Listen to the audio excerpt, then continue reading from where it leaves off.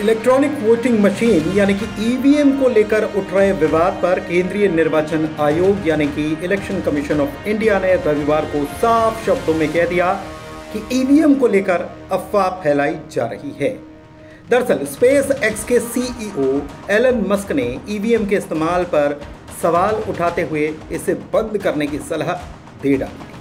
हालाँकि यह मामला भारत को लेकर नहीं था, लेकिन उनके इस बयान के बाद कांग्रेस ने भी ईवीएम पर फिर से निशाना साधा।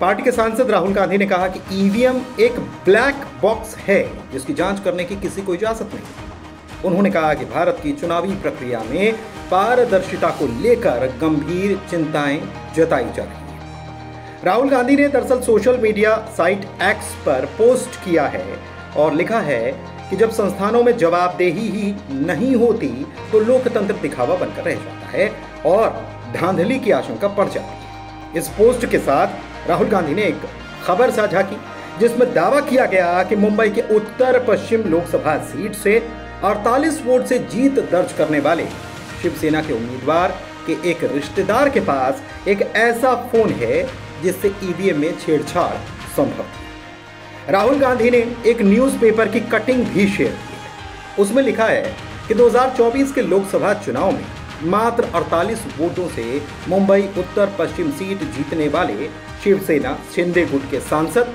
रविंद्र वायकर के रिश्तेदार के फ़ोन में ईवीएम मशीन खोलने की ट्रिक है उनके रिश्तेदार मंगेश पांडिलकर पर आरोप है कि उन्होंने अपने मोबाइल फ़ोन से ओटीपी जनरेट कर ईवीएम मशीन को अनलॉक करने की कोशिश की थी। वनराय पुलिस ने उन्हें सीआरपीसी की धारा इकतालीस ए के तहत नोटिस भी दिया है। कांग्रेस के पूर्व अध्यक्ष ने एक्स पर एलन मस्क की उस पोस्ट को साझा किया, जिसमें मस्क ने ईवीएम को हटाने की बात कही थी। मस्क ने अपने पोस्ट में कहा कि हमें ईवीएम को खत्म कर देना चाहिए। मनुष्यों या फिर आर्टिफिशियल इंटेलिजेंस जैसे कि एआई के द्वारा हैक किए जाने का जोखिम हालाँकि छोटा है, लेकिन फिर भी बहुत ज़्यादा है। दूसरी तरफ़, राहुल गांधी जिस मुंबई सीट का ज़िक्र कर रहे हैं, उसके बारे में मुंबई उपनगर जिला कलेक्टर वंदना सूर्यवंशी ने ईवीएम पर जारी विवादों को लेकर एक प्रेस कॉन्फ्रेंस की और कहा कि ईवीएम पर गलत खबर फैलाई जा रही है और सारे के सारे आरोप बेबुनियाद उन्होंने कहा कि ईवीएम में अनलॉकिंग के लिए कोई ओटीपी नहीं आता। जो खबर चल रही है, वो पूरी तरह से गलत और भ्रमित है। ईवीएम किसी मशीन से जुड़ा हुआ होता ही नहीं मामला लगातार बढ़ता जा रहा है और उस पर प्रतिक्रिया भी आ रही है। ईवीएम के मामले में राहुल गांधी के ट्वीट पर स्पष्टीकरण देते हुए कहा गया कि जो खबर चल रही है वो गलत है। ईवीएम के लिए किसी ओटीपी की ज़रूरत नहीं, बल्कि रिज़ल्ट बटन प्रेस करके काम हो जाता है। चुनाव आयोग की तरफ़ से भी कहा गया। चुनाव आयोग ने ईवीएम को लेकर अपनी पूरी प्रक्रिया का पालन किया गया।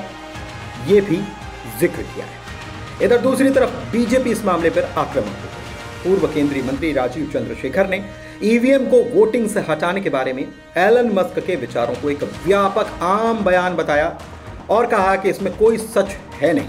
उन्होंने कहा कि टेस्ला के सीईओ एलन मस्क को भारत आना चाहिए और कुछ सीख ले लेनी चाहिए। उन्होंने मस्क के बयान को खारिज किया और कहा कि भारतीय ईवीएम कस्टम डिज़ाइन किए गए। सुरक्षित हैं, किसी भी नेटवर्क या मीडिया से वो अलग हैं।